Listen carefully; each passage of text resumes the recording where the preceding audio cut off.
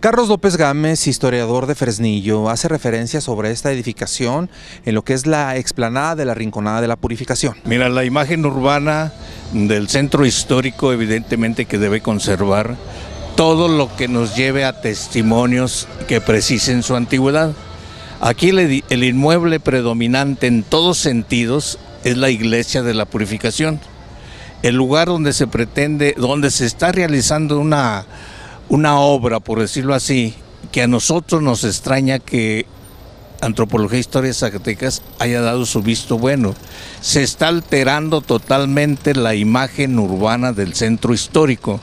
Para nosotros es un absurdo alterar esa imagen para crear un escenario que pudiera ser de otra naturaleza y no dañar lo que es el contexto de lo poco que aún tenemos de pie y que tenemos que protegerlo, conservarlo.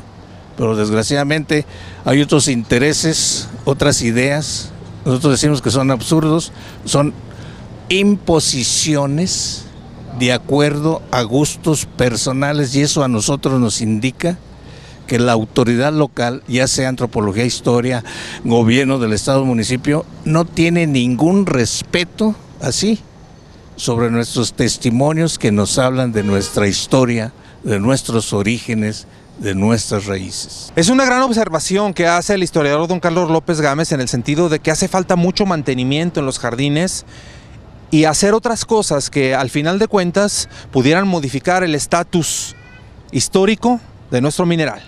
Imágenes Santi de León, Víctor Manuel Correjo.